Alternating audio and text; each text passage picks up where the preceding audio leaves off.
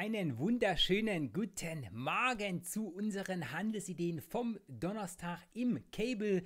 Wir schauen auf den Kakaran und wir blicken ins Währungspaar britischer Pfund, japanischer Yen. Damit öffne ich die Tür für das Trading meinerseits im heutigen Handelstag. Wir gucken gleich in die Charts. Ludger, einen schönen guten Morgen und von meiner Seite her wieder allen den kleinen Hinweis an dieser Stelle. Wer eine Frage hat, einen Wunschchart analysiert haben möchten, das machen wir hier immer wieder gern. Bitte einfach in den entsprechenden Feldern hier auf Facebook oder auch auf GoToWebinar einfach die Kürzel hinterlassen und dann blicke ich auch gleich rein. Bevor wir in unsere heutigen Handelsideen reinschauen, selbstverständlich bitte ich wieder den Risikohinweis an dieser Stelle in Gänze zur Kenntnis zu nehmen. Der Handel mit Devisen und CFDs auf Margin kann zu Verlusten führen. Die weiteren Dinge sind zum Lesen auch mit da. Schauen wir in die Vorbereitung für den heutigen Handelstag. Da gibt es wie immer Nachrichten und wir wissen ja, Christian, guten Morgen, wir wissen ja, dass Nachrichten häufig Impact auf die Märkte haben und die Kurse deutlich bewegen können. Das heißt, heute gibt es eine relativ lange Liste äh, von Nachrichten. Äh, von der Seite her können wir hier auf die wichtigsten mal zuerst blicken. Das sind um 9.30 Uhr den Einkaufsmanager-Index für das verarbeitende Gewerbe hier bei uns in Deutschland. Um 13.30 Uhr veröffentlicht die Europäische Zentralbank den Bericht des geldpolitischen Treffens. Um 14.30 Uhr gibt es dann aus den USA Nachrichten um den Auftragseingang für langlebige Güter. Wir bekommen den Fellifed Herstellungsindex und wir bekommen um 16 Uhr die Informationen zu den Verkäufen bestehender Häuser, gefolgt um 17 Uhr heute, das ist eine etwas andere Zeit als sonst, die Rohöl-Lagerbestände, die kommen ja immer sonst am Mittwoch um 16.30 Uhr, aber wir hatten Montag in den USA Feiertag, deswegen hat sich das Ganze alles etwas nach hinten mit verschoben. Ich sehe gerade noch, um 8 Uhr hatten wir den Verbraucherpreisindex in Deutschland, wir hatten hier geplant einen Rückgang von 0,8, wir schauen gleich mal noch auf die aktuellen Daten hier drauf. Ich blicke bloß mal kurz auf meinen vierten Monitor, um mir die Nachrichten hier mal reinzuholen mit den klaren Zahlen um 8 Uhr. Was hatten wir? Die Prognose war ein Minus von 0,8 und der Verbraucherpreisindex ist tatsächlich auch um 0,8 Prozent zurückgegangen. Preisauftrieb sieht ein bisschen anders aus. Das also hier zum Vormittag mit den oder zum laufenden Tag mit den wichtigsten Relevanzen. Wir bekommen dann am Nachmittag noch ein paar Informationen, beziehungsweise mit der Relevanz Nummer 2 ein paar zusätzliche Informationen zum Thema Einkaufsmanager-Index. Wir sehen das hier also heute der Vormittag, Einkaufsindex, äh, Manager-Index um 9.30 Uhr, 10 Uhr ist alles da. Um 13 Uhr ähm, spricht mal wieder ein Mitglied der britischen Notenbank. Äh, um 13.50 Uhr bekommen wir Ähnliches aus den USA. Das ist hier wichtig. Interessant wird sein, was die Erstanträge auf Arbeitslosenhilfe aus den USA uns sagen. Die bekommen wir auch um 14.30 Uhr. Ich gehe mal nicht davon aus, dass es da Überraschungen geben wird. Also das hier die wichtigsten Themen für den heutigen Tag. Mit der Bitte auch, wenn jemand andere Währungspaare tradet, ähm, dann bitte auch immer auf die entsprechenden Nachrichten der Währungspaare schauen, weil das ist natürlich wichtig. Da kann einiges an Bewegung hier in die Märkte kommen um solche Nachrichten herum. Gut, dann würde ich sagen, gehen wir mal weiter Hans Rolf, auch von meiner Seite her, guten Morgen. Ähm, hier bekomme ich gerade noch eine Frage. Hans, äh, du schreibst, wie geht es äh, mit Siltronic AG weiter? Wir gucken hier in den Morning Briefings mit Tickmill immer in den Forex-Bereich bzw. in Indizes und Währungen. Von der Seite her kann ich hier leider keine Informationen zu Aktienunternehmen geben. Schauen wir nun in die Charts hinein. Ich öffne gleich mal noch den Tickmill Trading Desk hier mit dem Stereo Trader Add-on oben drinnen und wir gehen direkt in den Markt rein. Wir fangen an mit dem Cable hier im Tageschart. Das ist wichtig zu sehen was hier passiert. Jetzt müssen wir nur mal schauen, der hängt gerade, wir ziehen gerade die Kurse, kurzen Augenblick und dann geht das gleich hier weiter mit den Charts. Hier haben wir die Stunde, jetzt schalten wir noch um in den Tag. Und was haben wir hier gesehen? Wir haben die letzten Tage hier eine sehr, sehr schöne Rallye gesehen im Währungspaar, im Cable. Das heißt, wir hatten unten diesen starken Schub nach unten hin gesehen mit dem Boden um die Marke von 1,27,8 in etwa. Hier ging der Markt dann hoch, das ist alles Geschichte, das haben wir gesehen. Gestern dann hier wie soll ich sagen, erst Intraday-Schwäche, dann Intraday-Stärke, dann wieder zurück, wo wir hergekommen sind. Hin und her, da kann jetzt beides draus werden. Auf der einen Seite könnte hier natürlich die Stärke zurückkommen. In dem Moment, wenn die Stärke zurückkommt, müssen wir einfach mal schauen, was oben hin passiert. Wir haben hier selbstredend das Tageshoch von gestern um die Marke von 1,31094. Kurz daneben haben wir hier auch noch ein Tageshoch liegen, was möglicherweise Relevanzen haben könnte von 1,31142. Das sind Werte, die wir hier, wenn es nach oben geht, relativ schnell abfrühstücken kann. Geht es dann dynamisch weiter noch nach oben, dann können wir mittelfristig sicherlich den Blick oben rein in die Widerstandslevel bei 1,32174 beziehungsweise danach bei 1 1,32,6 richten. Das ist dann hier für das Swing Trading, denke ich mal, auch interessant, wenn es weiter nach oben gehen sollte. Das ist die eine Seite. Da muss natürlich die Stärke zurück auch in den Markt kommen. Auf der anderen Seite kann es hier jetzt natürlich auch im kurzfristigen Bereich selbstredend nach unten gehen. Da müssen wir hier auf das Tagestief von gestern schauen, weil das, was hier gestern an Schwäche gekommen ist, fand hier, wir sehen es bei 1,30, 1,02 ihren Boden bzw. ein Ende, bevor die Kurse wieder nach oben gingen wird das Ganze nach unten unterschritten, dann ist erst einmal eine ganze Weile Luft im Platz. Hier, wenn wir uns gleich den untergeordneten Trendverlauf der Stunde anschauen, werden wir sehen, so einen kleinen Staubereich, der als Unterstützung gelten könnte, liegt um die Marke von 1,28 hier um das Tagestief hier rum. Ich lese nochmal kurz unten drin, das Low lag bei 1,28,958. Also in diesem Dreh hält das nicht, ist der Weg nach unten hin wieder weiterhin offen. Tief hier, wie schon gesagt, um die 1,27,800 könnte als Support gelten. Wir schauen uns das Ganze selbstredend jetzt nochmal im Stundentrend an, weil im Stundentrend ist noch nichts passiert. Ne? Das sieht das Bild hier auf Tagesbasis anders aus. Da könnte man eher denken, na gut, jetzt bricht der Markt nach unten weg. Wenn wir uns allerdings den Trendverlauf der Stunde angucken, ist das nur eine Korrektur. Ne? Wir sind ja gestern hier runtergelaufen, dann hochgelaufen, jetzt laufen wir halt runter. Der Aufwärtstrend in der Stunde, der ist noch intakt. Und das ist das, was ich gemeint habe. Wenn wir hier die Stärke wieder sehen, hier dieser Aufwärtsschwung, der hier reingekommen ist, der ist ja weiterhin da.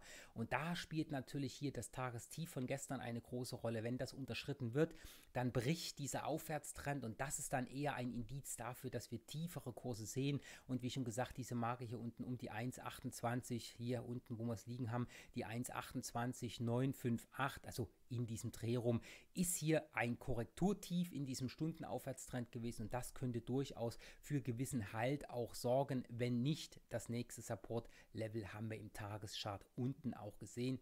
Heißt, hier werden wir irgendwann eine Entscheidung bekommen. Aufwärtstendenzen heißt, wir blicken eher auf die Oberseite, geht es hier runter, dann favorisieren wir gerade im kurzfristigen Bereich eher die Seite hier nach unten. Nächster Chart, schauen wir rein und zwar britischer Pfund, japanischer Yen. Das an der Stelle auch wieder im Tageschart zu sehen. Wir haben da gestern schon mal ganz kurz reingeblickt. Die interessante Situation ist im Laufe des gestrigen Tages auch entstanden. Hier ist der britische Pfund, japanische Yen. Ähm, ja, das sieht mir so ein bisschen aus wie latente Schwäche, aber noch kein bärisches Zeichen. Das heißt, wir müssen hier jetzt einfach mal schauen, wie es kurzfristig weitergeht. Was wir hier im Chart sehen, ist der Aufwärtstrend, der sich nach diesem Spike nach unten gebildet hat. Wir haben hier das Zwischenhoch auch rausgenommen. Der Trend hier ist weg. Ähm, das heißt, dieser dynamisch nach unten laufende Trend, der ist halt weg. Hier die lange, lange, lange, lange Bewegung. Hier war ein Zwischenhoch aus der korrektiven Phase. Da ist der Markt drüber. Danach direkt in die Korrektur. Das hatten wir ja um die Marke von 1,40986 hat sich hier der, das Korrekturtief auch ausgebildet. Und gestern sind wir halt oben drüber über diese Marke von 144,84 gelaufen. Das ist das aktuelle Trendhoch gewesen. Das heißt, rein aus technischer Natur hat sich dieser Trend hier fortgesetzt. Nun kommt entweder Korrektur oder Schub nach oben. Das ist ja logisch. Wir müssen jetzt einfach nur schauen, was der Markt hier macht. Ne? Und das ist jetzt interessant. Mit Blick zur Oberseite haben wir das nächste Widerstandslevel hier drüben um dieses Korrekturhoch bei 145,8 liegen. Heißt also, hm, da kann der Markt durchaus auch in der laufenden Bewegung noch ranlaufen, weil es ist jetzt keine überdehnte Bewegung. Das Potenzial ist schon noch da. Wenn dann Schwäche reinkommt, gut, reden wir anders. Vielleicht geht es auch oben drüber. Mit Blick nach unten, wenn wir hier nach unten Schwäche reinbekommen und sich ein Abwärtstrend der Stunde hier nach unten hin bildet, dann müssen wir einfach schauen, wo ist der nächste Support hier. Und da sehen wir wieder den Verlauf der Stunde 142,471 über den Daumen wir ein Level und hier selbstredend die Korrektur kann ja tief laufen. 140,986. Das aktuelle Trendtief und auch hier wie immer den Blick in die Stunde und da sehen wir, was ich auch gerade im Tageschart auch angedeutet hatte. Wir haben hier eine sehr, sehr weite Bewegung in diesem Stundentrend ähm, und diese Bewegung an sich ja, ist auch ein bisschen trendförmig gelaufen. Wir hatten gestern hier mit Unterschreiten dieser Marke hier, dieses Tiefs, ich klemme da einfach mal hier unten was drunter. So, hier, da haben wir es. Das ist die Marke gewesen, ähm, die hier als Korrektur tief galt von diesem Korrekturschub, also von diesem Schwung nach oben. Hier hat der Markt einfach Luft geholt und das ist so ein bisschen ein Zeichen, dass der Markt hier mit Schwäche reagiert hat. Er hat zwar wieder hochgedreht, aber hier oben kam keine Kaufdynamik mehr rein. Das heißt, wir haben hier oben einen Doppeltop und wenn wir jetzt die Situation weiter verfolgen, dass sich hier an dieser Stelle ein Abwärtstrend bildet, das wäre dann das muss ich jetzt rot machen, sonst fehlt der Kontext zum grünen übergeordneten Aufwärtstrend, dann haben wir hier selbstverständlich einen Abwärtstrend, der hier die korrektive Phase einleiten könnte. Das heißt, hier so schaut der ganze Spaß dann aus. Das heißt, wir liegen ja jetzt momentan, naja, in dem Bereich hier unten. Wir sind technisch auch unten drunter gelaufen. Ähm, heißt, setzt sich das Ganze jetzt fort an dieser Stelle, dann haben wir eher die Dynamik nach unten und dann kann man diesem Trend schön korrektiv nach unten reingehen. Wie schon gesagt, hier ein kleiner Support um die 142,47, bevor wir dann hier unten die 140 986 als Trendtief mit anlaufen können. Und da muss man dann selbstverständlich sehen, wie es weitergeht. Bricht es drunter, ist natürlich diese Geschichte hier auch weg. Dann ist der Aufwärtstrend gebrochen.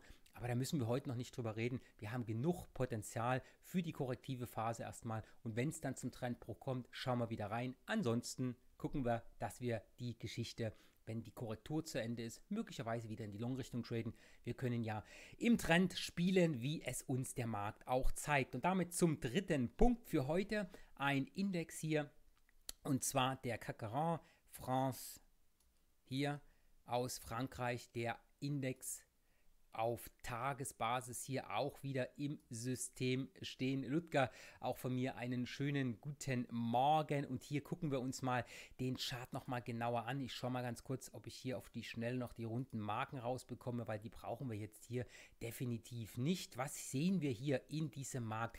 eigentlich und auch uneigentlich was sehr, sehr, sehr Schönes. Wir sehen hier wirklich die Bullen ordentlich am Werkeln. Wir haben hier übergeordnet selbstredend diesen großen Abwärtstrend gehabt. Hier haben wir die Bewegung des Abwärtstrends gehabt. Dann hat sich hier drüben der Aufwärtstrend gebildet und der hat sich schön Stück für Stück erst einmal über den Bewegungstrend gearbeitet, hier über die Marke von 4935. Wunderbar gebrochen, zack, nach oben, schöne dynamische Bewegung. Dann haben wir eine feine Korrektur gesehen, die hat hier auch an diesem Ausbruchslevel kurz oben drüber Halt gemacht. Bei 4400, äh, entschuldigt, bei 4944 Punkten haben wir das Tief gehabt. Das heißt, das ist das aktuelle Korrekturtief. Gestern sind wir dann hier oben drüber gelaufen über das Korrekturhoch des großen ähm, Abwärtstrends, der übergeordnet liegt, das ist ein hervorragendes Zeichen. Und jetzt läuft der Markt hier sogar weiter. Wir haben hier oben noch so ein bisschen Widerstandslevel, um die Marke. Hier haben wir das nächste Hoch, den nächsten markanten Hochpunkt in diesem Abwärtsschub nach unten hier, um die Marke von 5200 Punkten, beziehungsweise hier drüben haben wir das Bruchlevel. Also hier in diesem Bereich haben wir einen Widerstand liegen, der als Widerstand arbeiten könnte. Dann würden wir korrektive Phase sehen. Da müssen wir dann nach unten schicken und das Tagestief von gestern, da haben wir das Low gehabt bei 5000.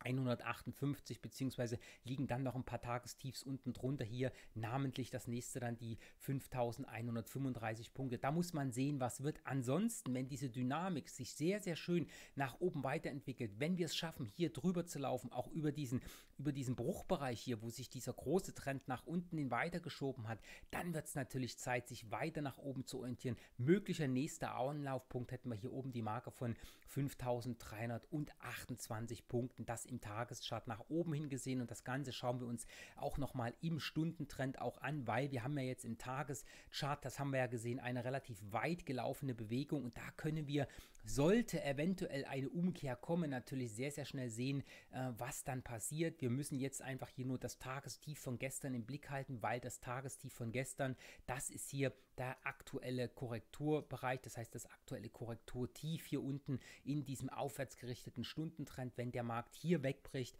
dann geht natürlich die korrektive Phase nach unten weiter. Ansonsten haben wir hier schön die Bewegung am Weiterlaufen nach oben hin. Hier kann man natürlich im kurzfristigen Bereich, auch wenn Schwäche reinkommt, hier die Korrektur dieser Bewegung traden. Hier gibt es eine Menge, Menge Spielfeld für die Trader, die auch im kurzfristigen Bereich agieren. Das Ganze hier im französischen Aktienindex. So, ähm, Elena, du fragst, was für ein Chart. Ich hoffe mal, du meinst jetzt hier den Chart, den ich besprochen habe. Ähm, das Ganze hier als Frage, hoffe ich, dass das gelegen kam. Remo, einen schönen guten Morgen. Weitere Fragen sehe ich jetzt hier an dieser Seite nicht. Das heißt, von dieser Stelle gehen wir heute in den Handelstag. Morgen ist Freitag, da Kleine Vorausschau für morgen haben wir im edukativen Teil das Thema Daytrading. Ich mache hier eine dreiteilige Webinarreihe. Die Webinare werden sich Stück für Stück aneinander anrauen. Wir schauen zuerst auf das Thema der Daytrader, dann schauen wir auf das Thema der Swing Trader und dann diejenigen, die das Trendtrading entsprechend betreiben. Das sind drei verschiedene Handelsansätze und die werde ich hier in den edukativen Parts hier äh, sozusagen weiter mit Ihnen besprechen. Ansonsten geht es dann morgen natürlich in die Vorschau für die nächste Woche, was die Nachrichten angeht und wir machen den Chartcheck der großen Indizes und Elena, keine Aussage, äh, eine Aussage, keine Frage passt. Also hier der Chart vom französischen Aktienindex wirklich, es ist ein Traum und hier kann man wirklich einfach mal wieder sagen, es gibt einen Grund, warum ich mit Trends arbeite, wie viele, viele andere erfolgreiche Trader auch, weil die Trends verraten uns, was gerade los ist. Die zeigen uns, was die Marktteilnehmer machen, wo wir rein können, wo Absicherungspunkte sind. Das sind hervorragende Mittel, um unsere Trades zu bestimmen. Deswegen schauen wir hier jeden Tag auch rein. Und wenn wir sowas hier sehen, es macht einfach Spaß, unheimlich viel Spaß. Gestern im WTI, schaut euch das mal an. Wir haben gestern im WTI drüber gesprochen. Ähm, das Kleine setzt sich jetzt nach oben fort. Das sind einfach so schöne Sachen, die wir aus den Märkten rausziehen können und das macht mir Freude. Ich hoffe, jeden Morgen gibt es da auch schöne Sachen hier an dieser Stelle. Also in diesem Sinne allen einen wunderbaren Donnerstag bis morgen. Tschüss.